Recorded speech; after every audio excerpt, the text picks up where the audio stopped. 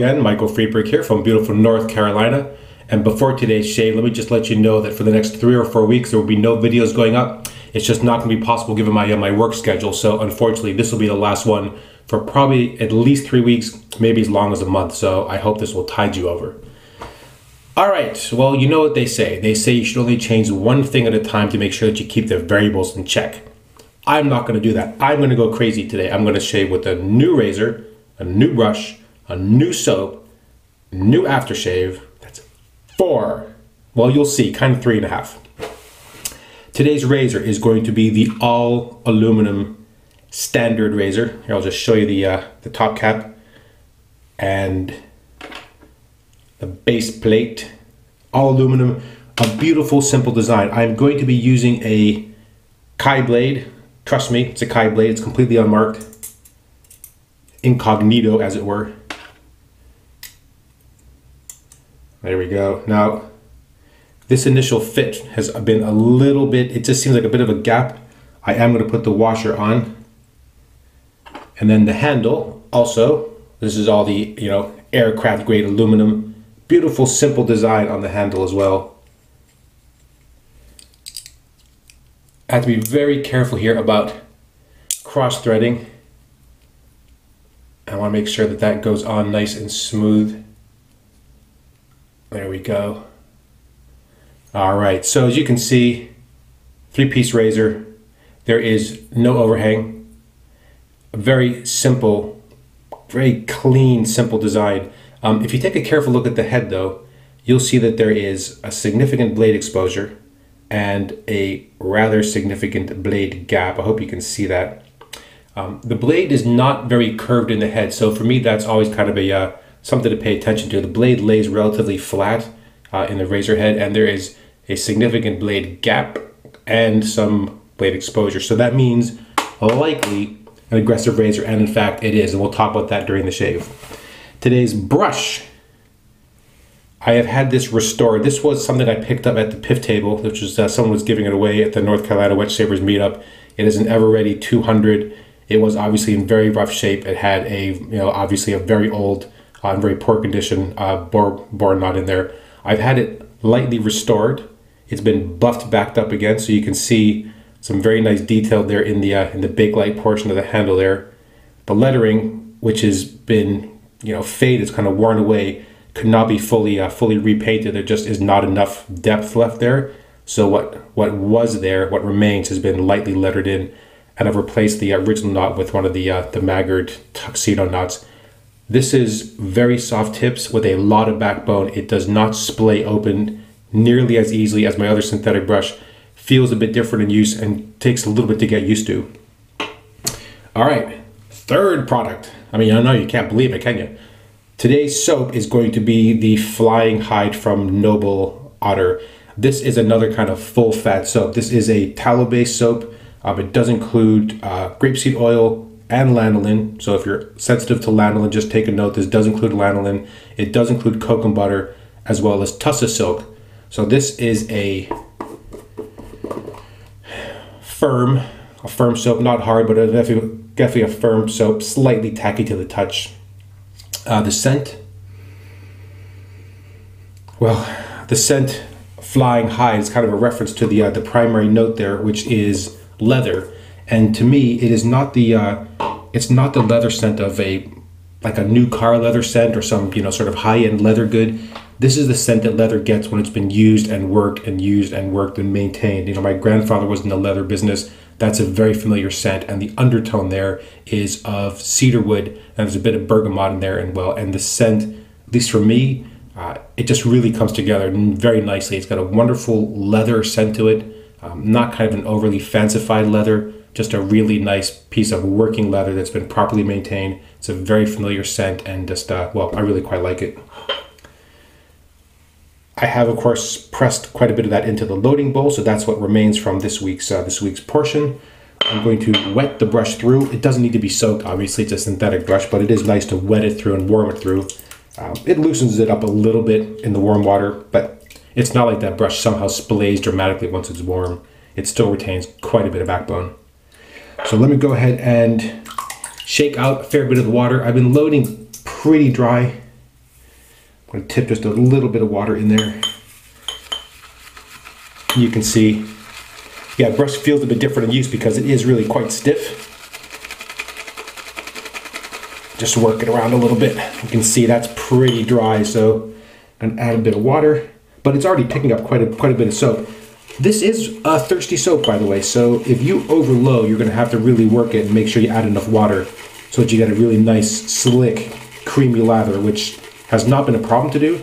It just, if you overload, takes a little bit more work. There we go, a little more. You can see what's happening inside there. Um, I have lost a bristle or two, fiber or two, the first couple shaves. Yeah, that's starting to sound pretty good. Let's take a look at the brush. I think that's going to do quite nicely. All right, let me wet my face and put some water on the brush. Start building a lather and we'll start shaving. There we go. I'm just going to drip a bit.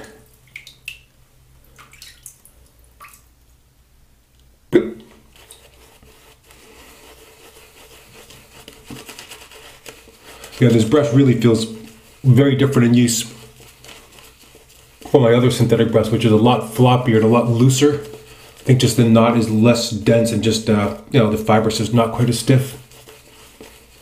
So yeah, at this point, definitely good coverage with the soap, but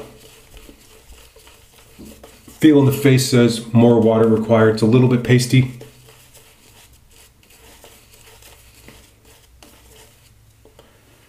Uh, I don't think I've lost any lather yet, but it's sure to happen. I'm just dripping a bit more water to the face of the brush. So I can force this brush display, but I think if I did that for too long, up oh, there it goes. I think that might lead to a little bit of brush burn, so I've not really found it necessary. Just lightly.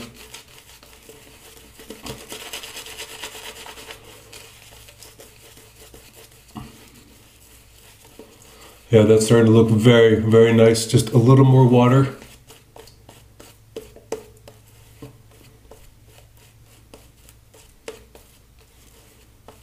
It's there, but it's not really glossy enough yet, and it is going to take on a kind of a nice glossy look, and it is also kind of, as you can see, starting to drip down the handle. There we go. Just a loose piece, put that back in the bowl.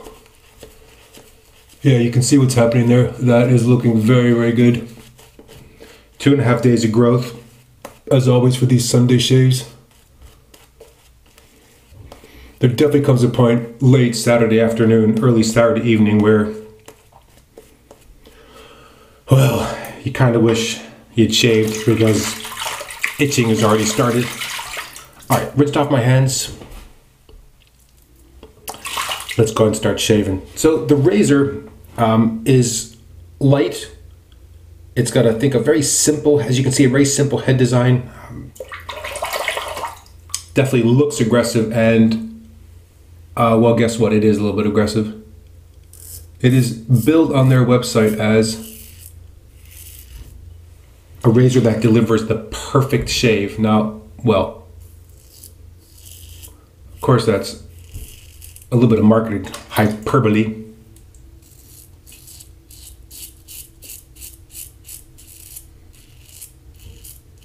What I found is that blades, for example, don't seem to last as long on this.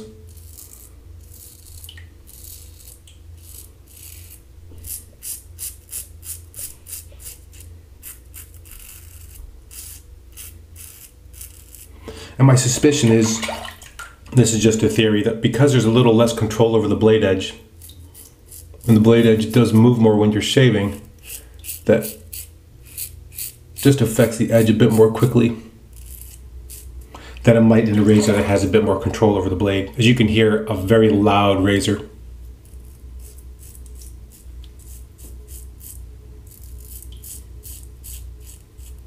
No issues with the uh, with the amount of growth.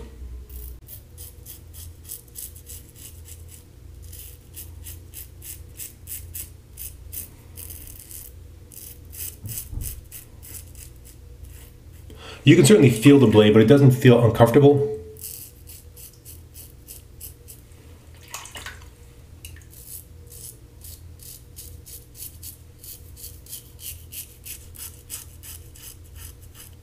It's a little more sort of naked blade feel than I normally would like, but I definitely recognize why people really like this razor.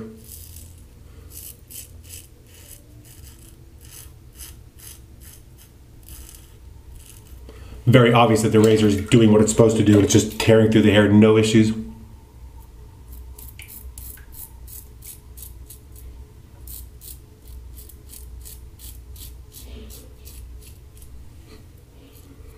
Hundred percent less shave with this blade though.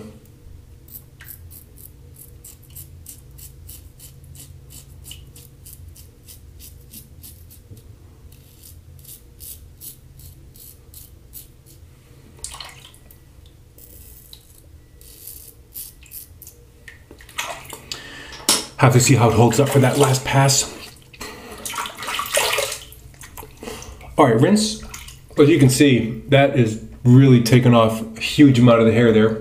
Now it's time for the across the grain. Wet face, just reapply the lather. May have to reload for the last pass, but we'll see. So there's a couple things about this razor. It is loud, so you just have to take that into account and sort of resist the urge because you can still hear what's happening that you press down because it is also kind of a pretty naked blade feel and so if you exert too much pressure you're going to get some razor burn or irritation. I think there's no way around it. So light touch just go easy. Let the noise be your guide but don't let the noise fool you into trying to just push through it a little bit. All right, let's see how it goes for this across the grain. Handle is not slippery in use. You know, often when you look at these uh, sort of non-patterned smooth handles,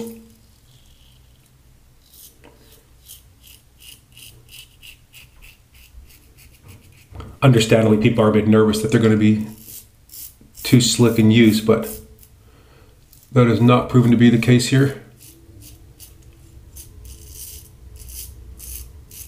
yeah, just razor's really loud.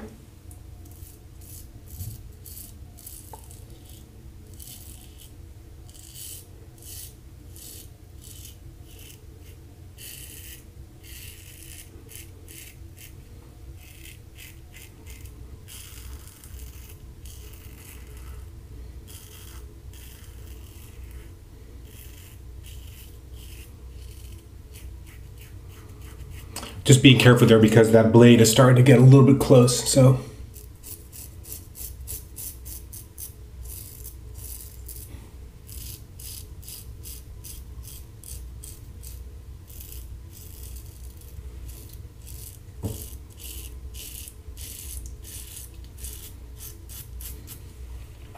Yeah, after the first shave or so, I you know I was suspicious that this would not be a comfortable shave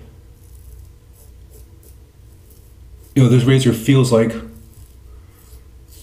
it's going to be likely to give you razor burn, even if you're being careful. Or lead to nicks or cuts.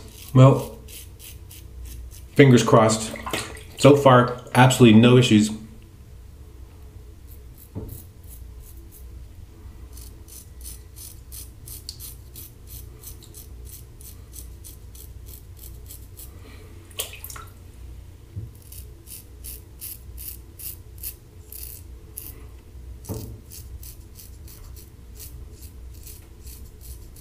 You know, that's of course helped by the fact that this soap is a nice, dense, creamy, slick lather. It's another another new artisan on the scene.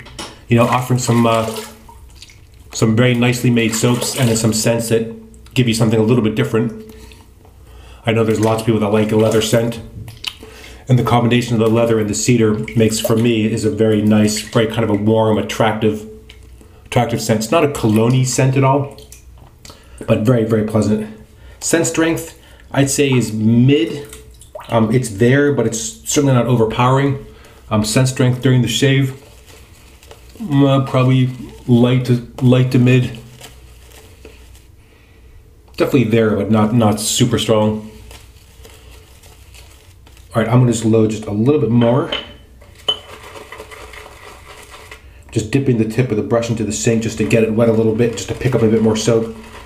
There's already quite a bit of sort of lather in there, well, early lather. Let's.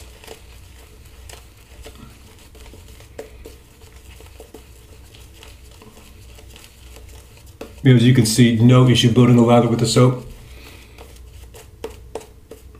Really enjoyed using it all week.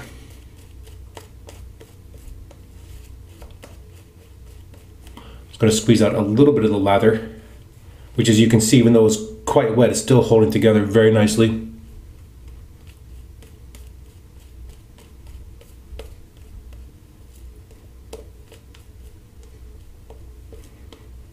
All right, let's see if this blade, let's see how it fares on pass number three. Yesterday, I could definitely tell, or on Friday, I could tell that it was getting a little bit, uh, it was getting there, as they say. All right, let's see what happens. Final pass, this is going to be against the grain. Very light. Don't get fooled by the raspiness.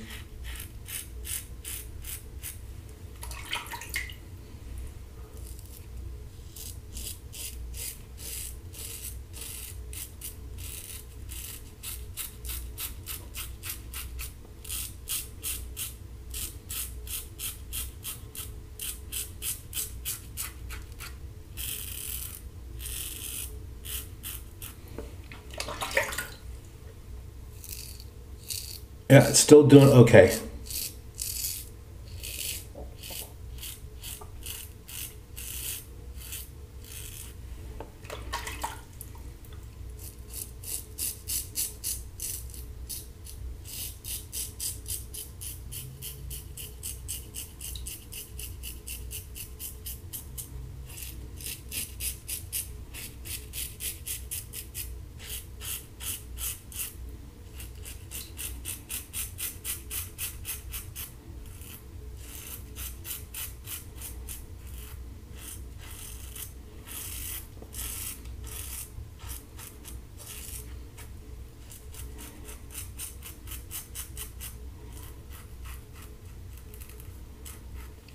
Got to be careful right there because if you overshave when there's no lather there, even though there's a, a nice sort of residual slickness, you're going to end up paying for it.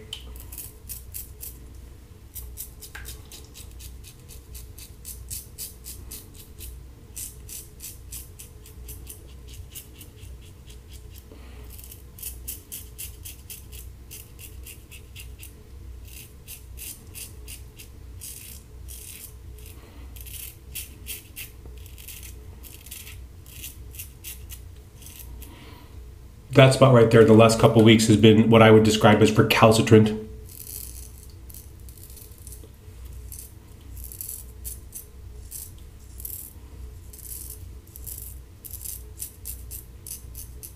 Just takes a bit more work to get it really good and clean.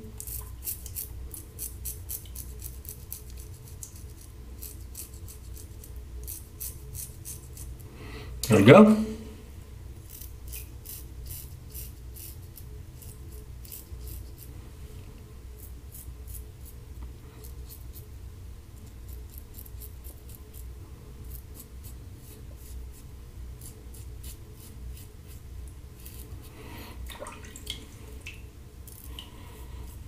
Yeah, a little bit more right there. Yeah, that blade is definitely at the uh, end of its rope, as it were. Used a, uh, a Voskhod in there as well, and honestly, the same thing. It just, I think only got three shaves out of it, and in the third, you could tell it's really starting to feel a little bit beat up.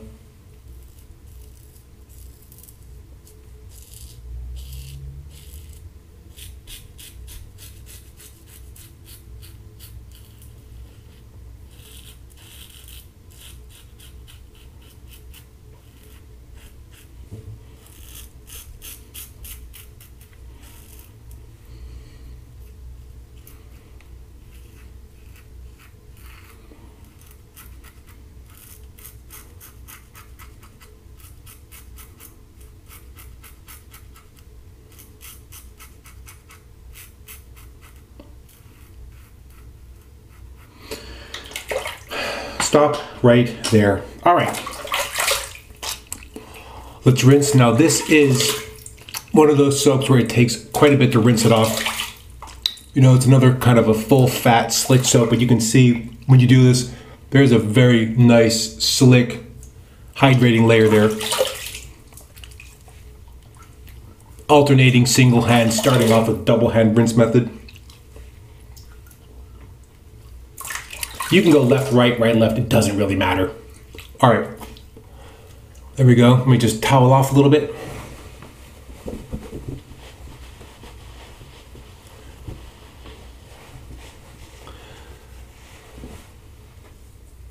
Yep, another another very very good shave with that razor and the soap is post shave wise very nice. As I said, that sort of residual slickness stays behind.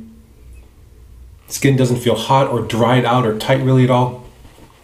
Now, for the final piece, they also sent along the uh, the matching aftershave, and this is another one of these mixes where it's alcohol. Um, witch hazel, aloe vera, and glycerin. So the, the, the feel of this aftershave, when you apply it, um, it has that slight sort of slippery but also tacky feel of the aloe vera. So if you don't like that feeling, and I know that a lot of people don't, then this one may not be the one for you because it does have that combination of slightly slick and slightly tacky at the same time. I'm not going to use that today because I've used it for the first three days. Every day that I've used it, I've had a brief two to four or so minute of kind of heat in my face. I know that I'm reacting very likely to the fragrance in there. The aftershave as an aftershave works fine. No issue with the impact on my skin. Generally speaking, once that heat goes away, it feels good. I always like the mix of the alcohol and the uh, and the witch hazel, but there's something in there, and I think I've had this at least once or twice this year as well. Um, aftershave, whatever it is in the fragrance, has caused my skin to be quite hot. So I've left it to the side for the moment.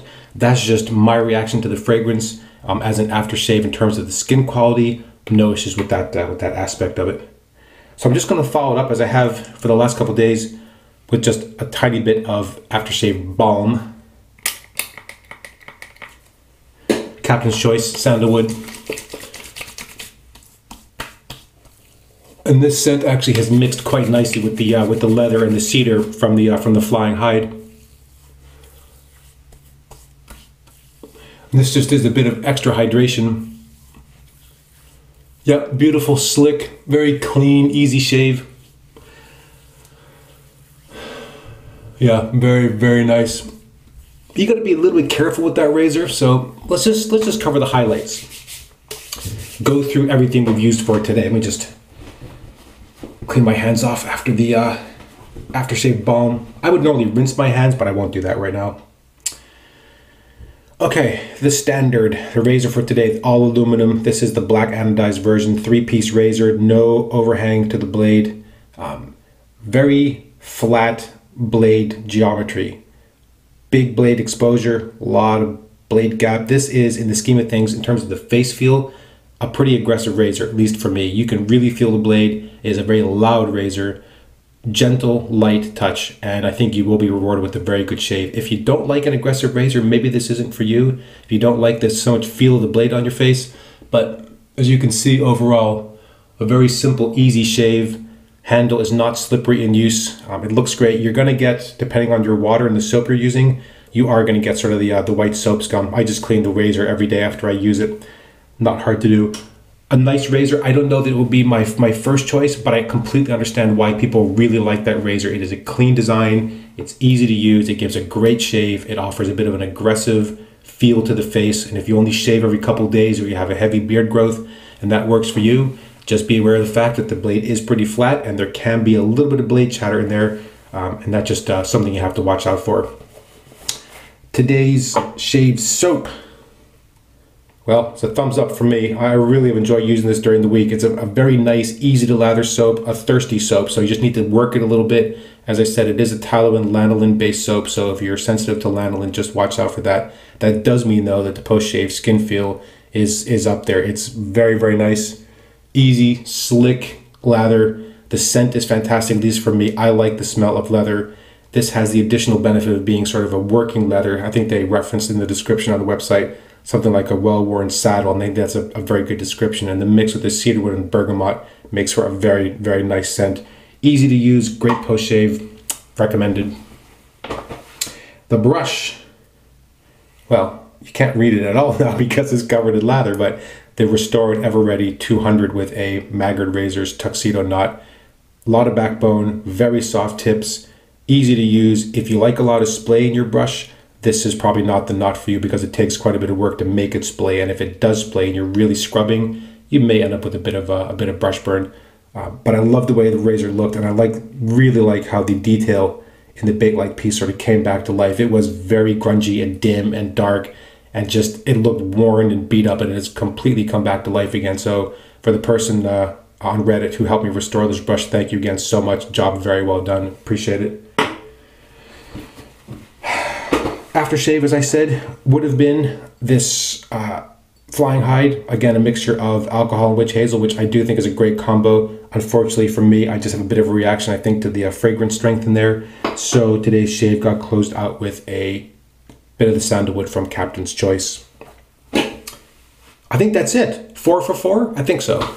Well, there you have it that is going to be the last Sunday shave for a little bit, three weeks, probably as long as four weeks. I hope you guys can uh, can hold out, uh, and I hope you don't miss me too much, or maybe you won't miss me at all. Who knows? Uh, thank you again so much for watching. I really appreciate the time you're taking to do this. Um, as always, please feel free to leave a comment or question against this video or any previous videos. Thank you again for watching, and until next time, goodbye.